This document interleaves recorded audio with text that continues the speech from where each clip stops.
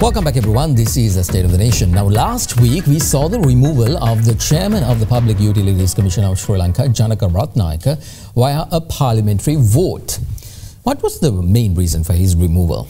Well, he stood against a crushing electricity tariff hike last year, if you we all remember that. His case was very simple. The CEB can find the money required from various other methods than taxing the public. Now, the tussle was between the chairman of the PUCSL and the Minister of Power and Energy, Kanchana Wijesekera.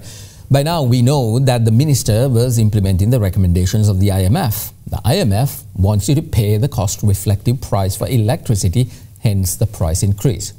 Protocol was followed and due process did take place for the removal of the chairman, but there's a very valid ethics question here. When you stand against the government's measure to cover costs by uh, squeezing the public, should you get booted off your position? And if that's the case, then what's the point of having such commissions? Because no sooner you disagree with something, you are sent home. Does the government want yes people in these positions? Or should there be people who stand for the welfare of this country when the government is not doing what it is supposed to do? I posed that question to the Executive Director of People's Action for Free and Fair Election, Rohan Hettiarachchi, and this is what he had to say. My, uh, uh, the, well, the government and the parliament do have power to do that. There's no argument on that in legal framework. But that is not the way that they should handle it because I think the both sides, there should be some sort of negotiations, the discussions because why we are having these two different uh, entity be, just because of the check and balance. So the both side do have power uh, uh, both uh, uh, entities are working for the people. Even this Janaka Ratnayaka, even the even the parliamentarians or the rather government the both has to work for the people. So both both did their job.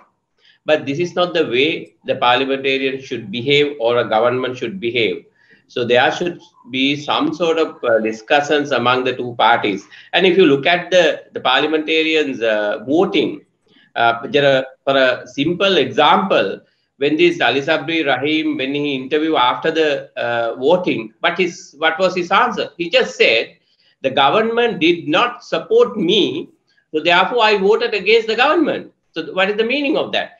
That means they are not serious about the matter they're serious about their own benefit and their own power circle.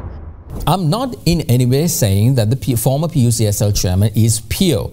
On the contrary, he made many mistakes, especially during the early stage of the economic crisis, where he constantly fear-mongered people by holding press conferences after press conferences, saying that we are running out of fuel, which we all know resulted in a run-in at the pump.